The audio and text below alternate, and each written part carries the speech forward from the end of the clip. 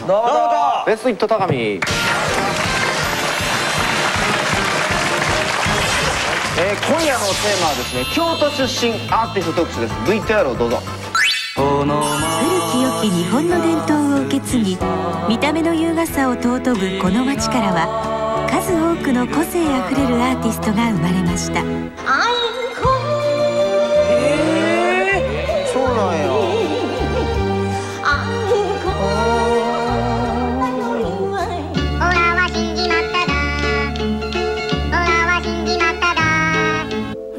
가사 그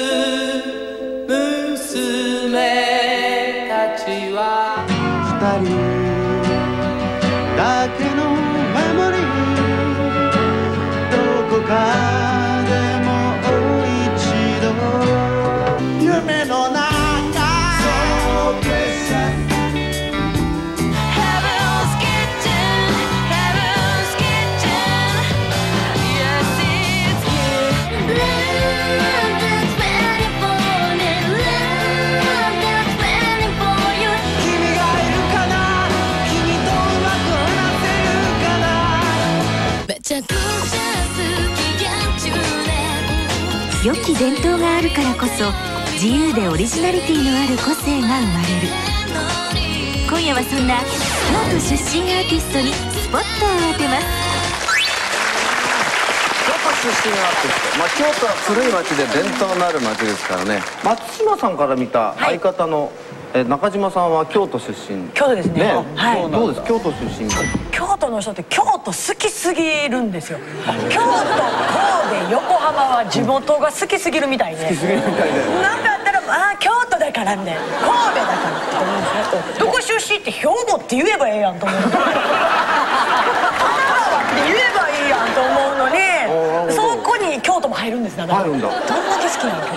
えー中島さんはどうなんですか？その京都大好きで。大好き。だからちょっとでも京都ってワードが入ってるだけで 京都とか言うから。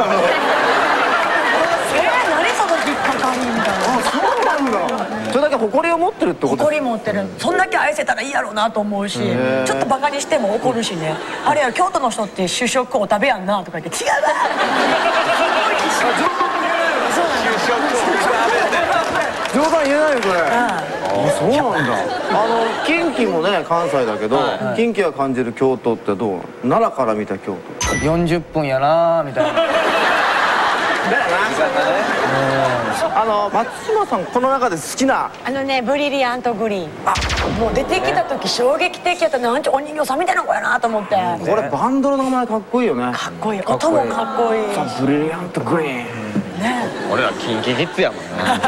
キンキキズかっこいいじゃん。じゃあブリリアントつけれじゃん。ブリリアント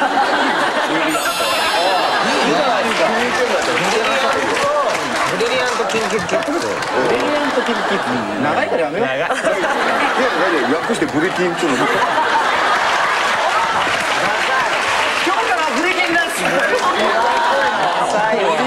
キンか。いや遠慮しとこう。今日は。京都出身アーティストの中ですね。ブリリアントグリーンの曲をですね、はい。キンギキッズとですね松島ブラザーズバンドと題して松島ブラザーズバンド。松島ブラザーズバンドとして松島ブラザーズバンドうわー言えね。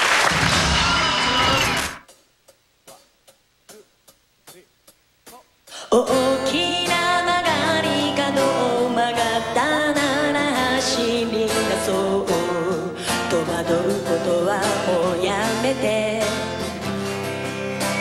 その